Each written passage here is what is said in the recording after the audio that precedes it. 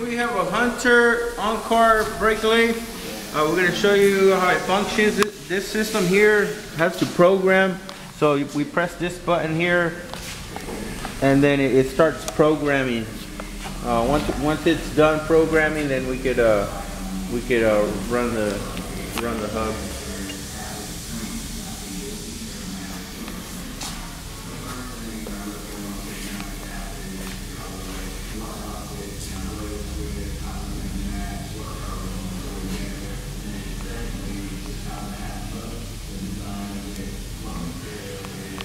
So every time that that that the uh, light blinks here, it, it's basically turning this this hub, and it's, it's self-programming itself. Once it's fully programmed, uh, we'll be able to run it and adjust the speed. Um, a few other things on this unit. Um, it's got it's got a uh, a travel right here. I believe this one. Um, this piece right here locks it in place and then you could also unlock it. And then right here on this front end right here is your cutters. These two are your cutters right here.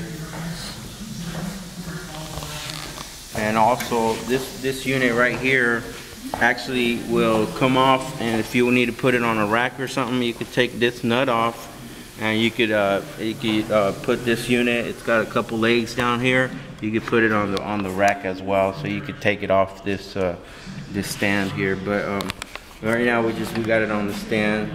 Uh, so it's still programming. Uh, should we get close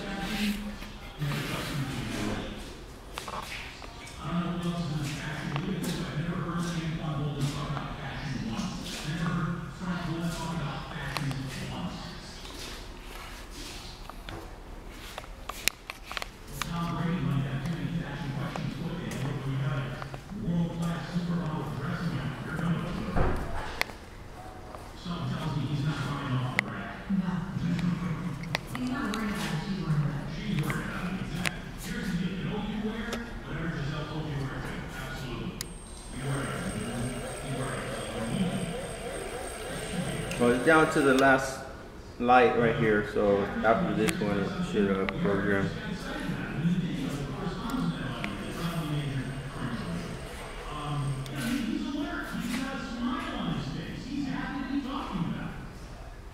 There we go. So now all your lights are green. Uh, so basically it's it's ready. You got the green down here. So you just go ahead and turn this. And this will this will turn your your hub and you can adjust that and goes fast and slow.